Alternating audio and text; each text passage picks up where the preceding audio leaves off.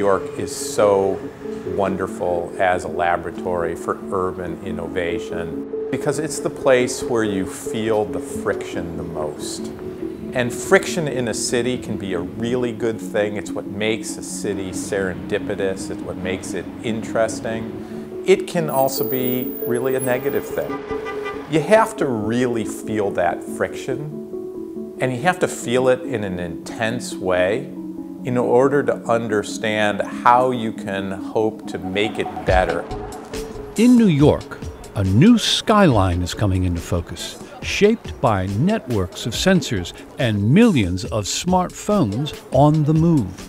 Researchers are turning the city into a proving ground for big data and the interactive technology of city life. Gotta make one stop at 34 and then we'll go to the top.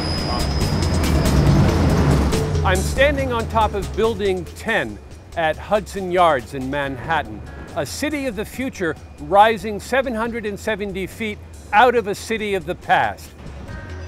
Hudson Yards is the largest real estate project in U.S. history, but it's also an urban test tube. Here, urban planners and engineers are working out the technologies that one day might make a planet of cities sustainable and livable. Typically, big data is going into existing cities and collecting data from existing systems and infrastructure. What makes Hudson Yards unique is the idea of building on 28 acres in the middle of Manhattan and starting from scratch. The massive retail and residential complex is being built atop a working train yard. The developers want the $20 billion project to be an energy efficient epicenter of arts, fashion, finance, and creative buzz. Data networks, broadband Wi Fi, and sensors are as basic to that as water and sewer. High speed fiber optics built into the foundations will link every building across the entire 28 acre complex. What you're seeing here is the, the platform being constructed in between the tracks where the trains are. The platform is really the star of the show from a technology standpoint because it is our infrastructure uh, that connects every single building. We'll know what equipment is uh, operating and how, uh, how efficiently it's operating in any particular building and be able to share utilities between them. Sensors will track noise, air quality, and the foot traffic of 24 million visitors expected annually. If we know certain parts of the, the mall are busier than others, we can open up doors in other areas to allow more people to go through. And that's data that everybody is interested in. To harness so much potentially profitable data on city living, Hudson Yards developers have partnered with New York University's Center for Urban Science and Progress, or as they call it, CUSP. I think the future of the city is combining sensor data, be it air quality sensors that exist within the city itself, be it imaging from a distance, combining that with uh, sort of records data that's generated by the functioning of the city, by the people as they use the city. When that sort of feeds back into the improvement of the functioning of the city and the improvement of the quality of life, I think that's the future of a city. At CUSP, all of New York is a laboratory. They're using sensors, imaging, and satellite data to analyze air quality, light pollution, construction, and traffic flow, block by block, building by building, 24 7. This data could improve energy efficiency, track building emissions, guide emergency evacuations, and monitor power outages. At their office in Brooklyn, they've erected a unique observatory atop the high rise to analyze Manhattan with techniques developed by astrophysicists to study the stars. Instead of sort of taking pictures of the sky to see if you can figure out what's going on with the heavens, uh, we're taking pictures of the city from a distance to see if we can sort of figure out how the city is functioning, how the city is sort of breathing.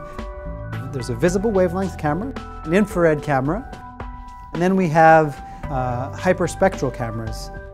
So the Urban Observatory is attempting to measure those things and quantify those things to help the city solve problems, aid in city functioning, and improve quality of life of people.